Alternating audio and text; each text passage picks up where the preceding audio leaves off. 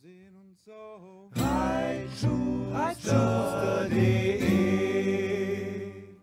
Warum ist man ein Klimaleugner, wenn man weder den Klimawandel leugnet, noch leugnet, dass der Mensch dazu, damit zu tun hat, noch leugnet, dass es mit CO2 zu tun hat?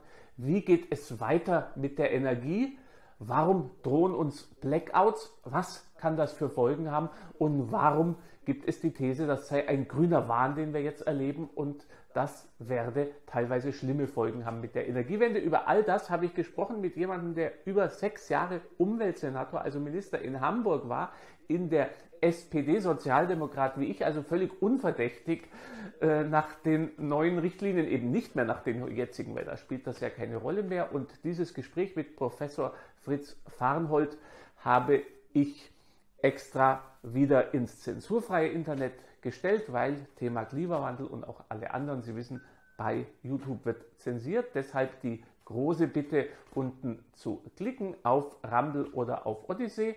Herr Professor, jetzt haben Sie noch mal eine Minute, anderthalb, um das Wichtigste aus dem Interview, was für Sie das Wichtigste war, vielleicht noch mal kurz anzureißen. Voilà.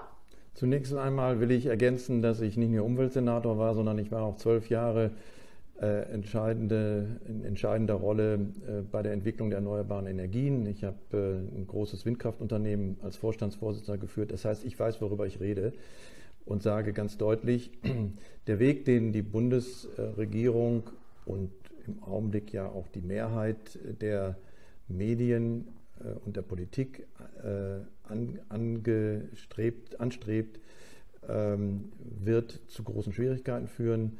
Wir werden nicht in der Lage sein, alleine mit erneuerbaren, unsicheren, nicht äh, sicheren Energien wie Windenergie und Sonnenenergie die Bedürfnisse eines hochentwickelten Industrielandes zu befriedigen.